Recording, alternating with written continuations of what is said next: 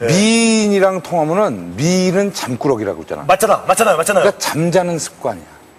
한쪽으로 아 이거 아니, 참. 그 멍한. 아니 아까 그 사과도 그냥 맞게 해주면 좋은데 사과 씨래야 맞으니까 뭘 자신이 없잖아. 뭘 자신 있게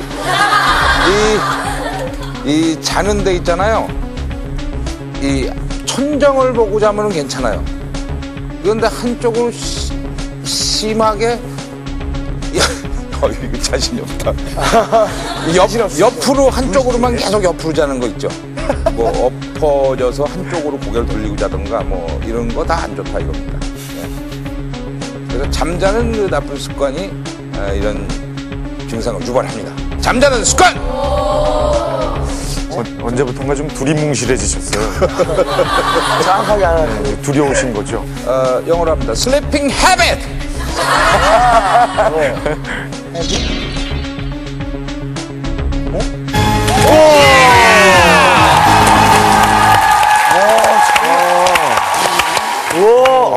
이게 답이네. 뭐 우리, 우리 저 감독님도 좀 미안하시니까 답으로는 해주셨는데 와? 정확하게 어떻게 자는 습관인지는 화면으로 확인을 해봐야 그래, 될것 같아요. 봅시다. 잘못 자는 습관 화면 확인하겠습니다.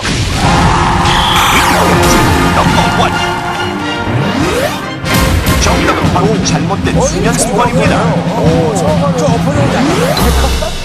턱 관절이란 귀 앞쪽에 손가락을 대고 입을 벌리고 담을 때 움직임이 느껴지는 부분, 즉 턱뼈와 머리뼈를 연결하는 관절을 말합니다.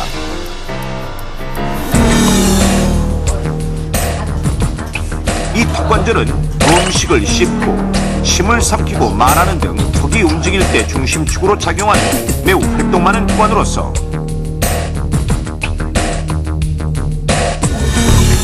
옆머리뼈인 축두골 쪽 뇌와의 간격이 불과 2, 3mm밖에 안 되기 때문에 작은 충격에도 뇌까지 쉽게 손상될 수 있는 아주 민감한 곳입니다.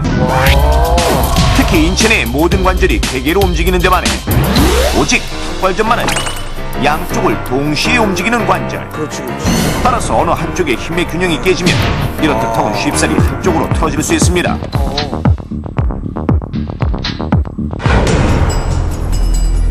이러한 턱관절에 장애가 생기면 어떻게 될까요? 턱관절에 이상이 생기면은 그 통증이 턱관절뿐만 아니고 그 영향이 온 전신의 통증을 유발할 수 있습니다. 축두골과 하악골이 골에 있는 어, 신경계나 어, 근육계가 불균형이 생겨서 어, 경추에 영향을 주어서 경추가 쉬게 되고 그 영향으로 머리, 등뼈, 어깨, 골반, 무릎, 발까지 영향을 줄 수 있기 때문에 턱관절은 대단히 중요한 기관입니다. 그런데 이러한 턱관절 장애는 생활 속에서 흔히 하는 잘못된 습관들로 인해 유발될 수 있는데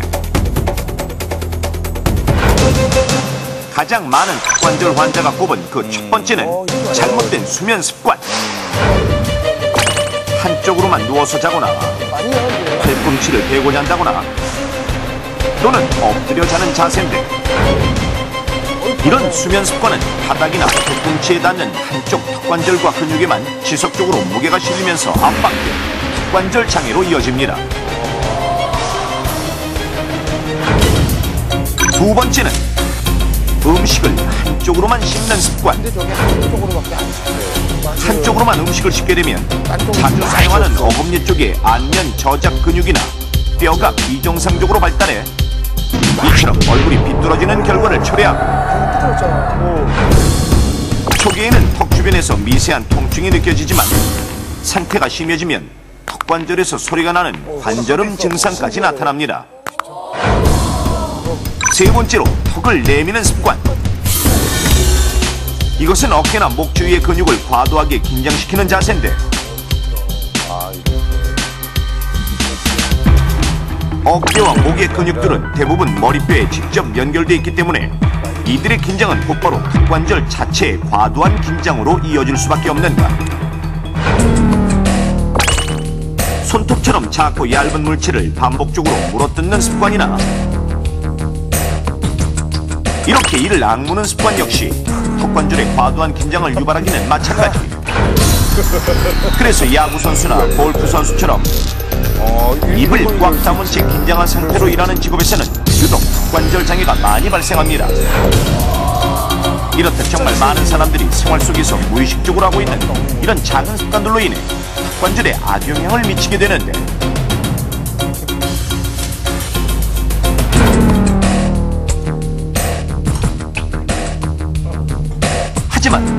턱관절에 이상이 생겨도 초반에는 별다른 증상이 나타나지 않는 경우가 많아 심각하게 여기지 않고 그냥 지나치는 경우가 많습니다.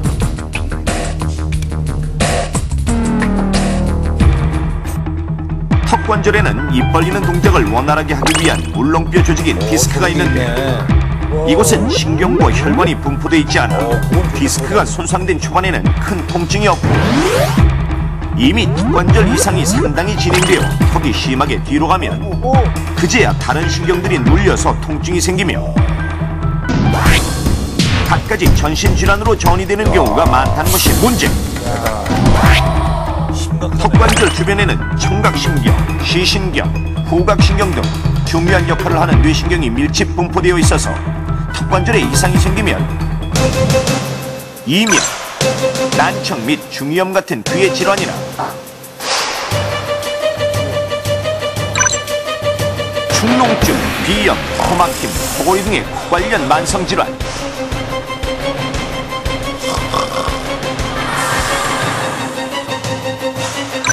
눈의 피로, 충혈, 난시, 원시 등의 안과 질환이 나타나기 쉽습니다. 또한 턱관절 뒤쪽으로는 두뇌로 올라가는 내경동맥과 외경동맥의 통로가 있는데 턱관절이 뒤로 밀리면 이 통로가 좁아져 뇌로 가는 혈액의 공급이 원활치 못하므로 두통을 일으키기도 합니다. 사람의 척추를 살펴보면 경추와 요추는 앞으로 휘어진 반면 흉추와 천추는 뒤로 휘어져 있는데 턱관절 장애로 인해 턱이 뒤로 밀리면 두개골의 무게중심이 뒤로 후퇴하고 따라서 인체는 두개골을 들기 위해 머리를 점점 앞으로 내밀며 몸 전체의 균형이 깨지는 것. 그러면 이처럼 척추 구조가 변하면서 목, 어깨, 허리 등의 통증이 나타납니다. 실제로 경기도에서는 25세 A양은 중고등학교 시절부터 지금까지 항상 다리를 꼬고 앉거나 턱을 괴고 있는 경우가 많았습니다.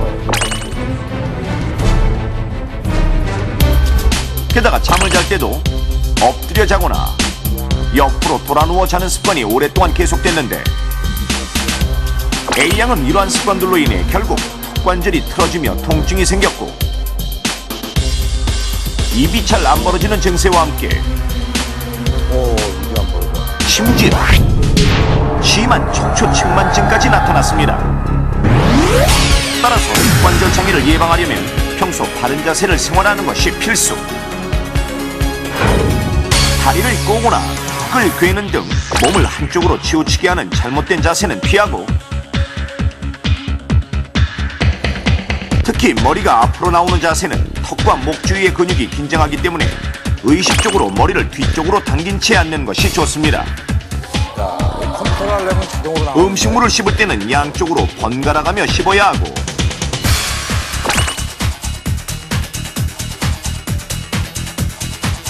껌이나 오징어처럼 딱딱하고 질긴 음식을 자주 그리고 오래 씹는 것도 피해야 합니다.